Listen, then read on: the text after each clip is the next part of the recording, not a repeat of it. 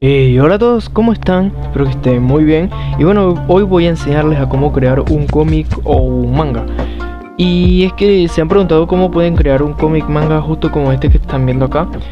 Eh, pues la verdad es que es bastante sencillo, lo voy a explicar independientemente de si tienen Clip Studio o Medibank, que son dos aplicaciones bastante similares y dedicadas normalmente al manga.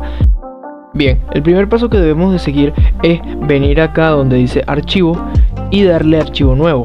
A nosotros normalmente nos vendrá de forma predeterminada donde dice ilustración, que es para hacer una ilustración normal, como dice su nombre. También por lo menos en Clip Studio tenemos la opción de crear un webtoon, de crear una impresión fanzine, de, este, de mostrar todos los ajustes de cómic y animación. Pero a nosotros lo que nos interesa en este momento es la que dice solamente cómic. Ya estando acá, nosotros podemos cambiarle el nombre a la obra, podemos cambiarle la ruta en esta parte. Y podemos darle a preajuste. Pero yo normalmente esto no lo recomiendo a menos de que seas muy novato. En esta parte tenemos el tamaño que es algo bastante importante si tú vas a subirlo a alguna página o si piensas imprimirlo o mandarlo a una editorial en algún punto. Ya que esto es lo que definirá el tamaño de la hoja yo por lo menos trabajo normalmente A4, que es un tamaño bastante grande y se los recomiendo bastante. Eh, este tamaño es el A4, pero no va a ser el tamaño final del lienzo. El lienzo siempre será un poco más grande, pero no se preocupen que eso al final siempre se recorta. Aquí tenemos el ancho de la sangría que tiene entre 3 y 5, yo normalmente lo dejo en 3. Y tenemos la resolución. La resolución yo se las recomiendo 350 pp si tienes una PC de bajos recursos como lo que sería la mía y a 600 si pues sí o sí planean este, imprimirlo y no quieren que pierda calidad además de si su PC lo soporta. Otro apartado importante que tenemos es el de múltiples páginas. Normalmente va a venir desactivado pero ustedes tienen que activarlo si piensan hacer un cómic que tenga varias puesto que si no solo les saldrá una sola página. Aquí tendremos el número de página que es donde podremos definir el número de páginas que va a crear el archivo, ya que todo esto se maneja de un solo archivo. Yo por lo menos ahora mismo crearé uno de 4.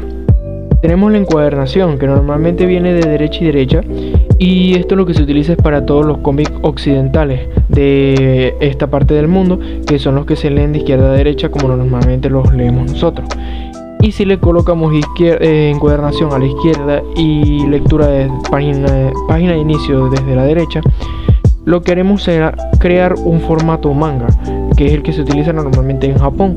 Yo por lo menos ahora mismo crearé un formato manga. Le damos a aceptar y ya creado se vería algo como esto. Nosotros la primera página la utilizaremos para hacer portadas si es que necesitan o quieren hacer una portada. Si no no hay problema. Vamos a abrir uno de los archivos y se nos abrirá eh, aparte.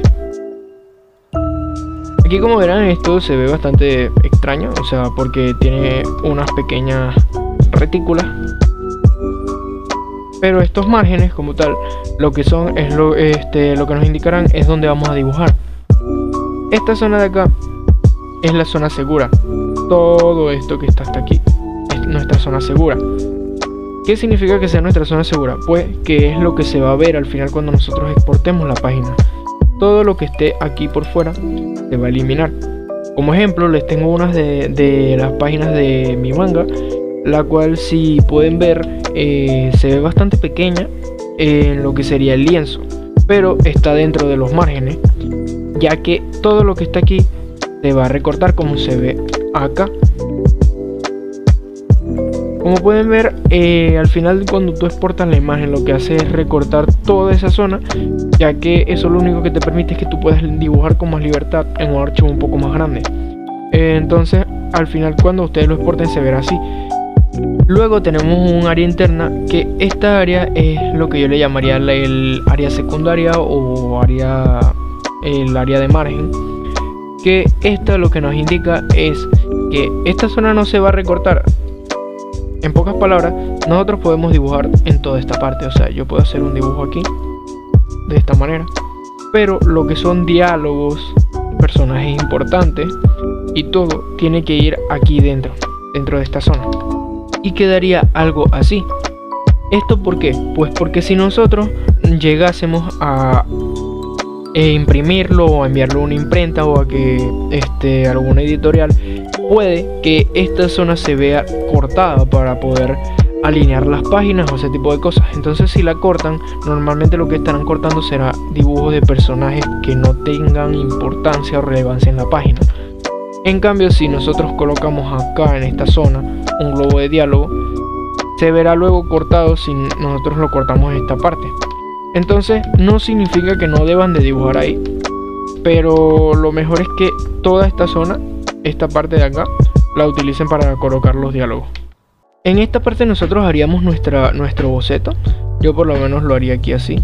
De la siguiente forma, como si fueran unas viñetas normales de, de manga, con un personajito aquí. Y este tipo de cosas.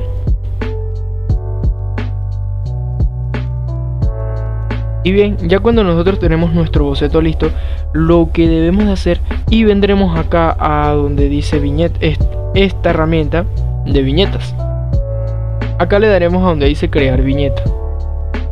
Aquí podemos personalizar en este apartado todo lo que es el tamaño de las viñetas y todo eso. Nosotros con esto lo que debemos de hacer es crear nuestra viñeta. Normalmente la gente lo crea dentro de lo que sería el margen central para que no se vea cortada ninguna parte.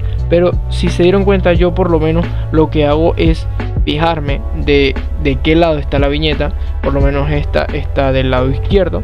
Y luego lo que hago es crearlo desde la parte de afuera hasta el margen de ese lado. ¿Esto para qué? Pues porque al final cuando la recorten quedará de esta manera. Quedará un espacio en blanco desde aquí. Esto para que si luego se imprime y se va a encuadernar, esta parte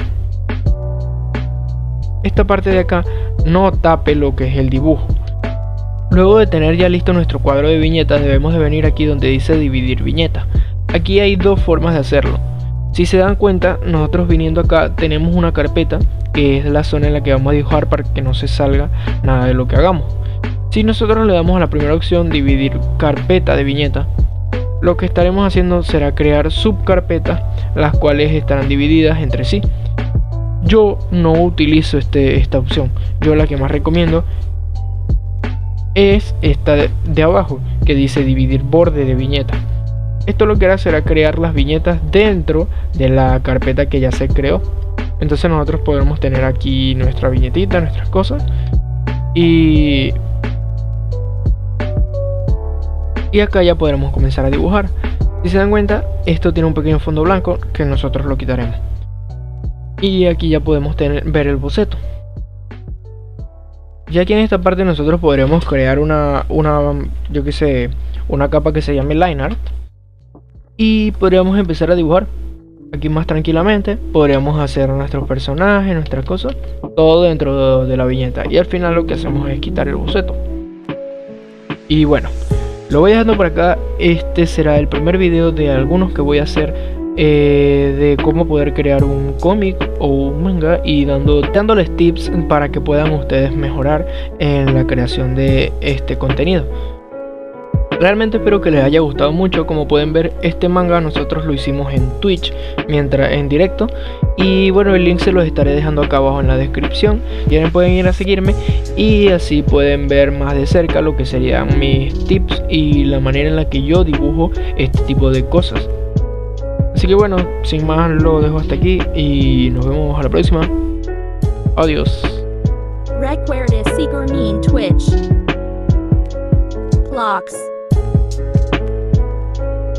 Rita Trist.